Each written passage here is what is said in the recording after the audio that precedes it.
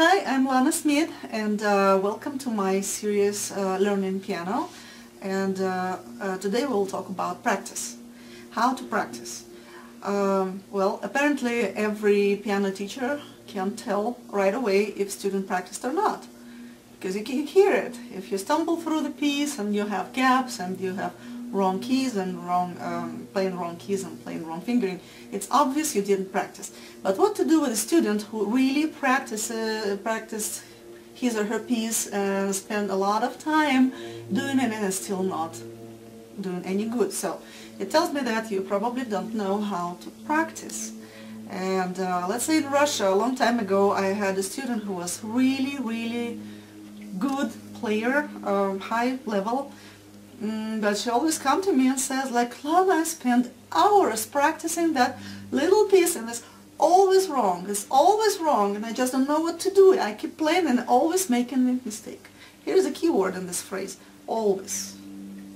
So, if you're always playing this piece wrong, you have a finger memory and uh, whatever you're playing wrong, your fingers remember.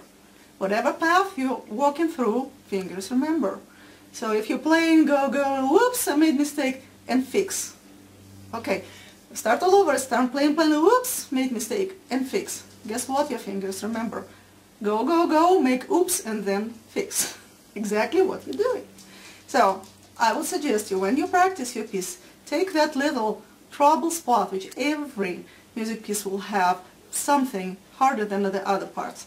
Take just that little spot and start practicing it really slowly and treat it like um, as if you're going on the minefield. You're going through the minefield, you're not rushing through it, okay? Because you will be really watching every step to not stop step on the wrong place. Same thing here. When you come to that mistake, first of all, verify if your fingering is right. And do it as slow as possible.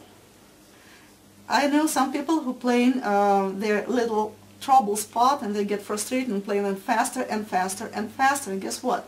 Is it improving? No. So you need to do it as slow as possible.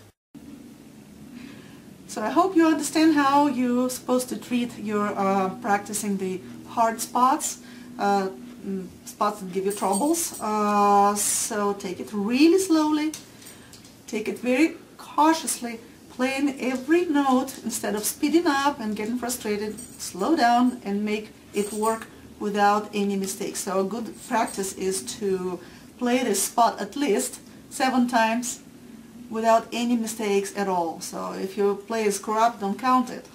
And don't let yourself to step on a mine and blow up yourself. So, um, and welcome to my series about uh, how to practice. We'll have uh, another movie well, we'll address the um, structure of practicing.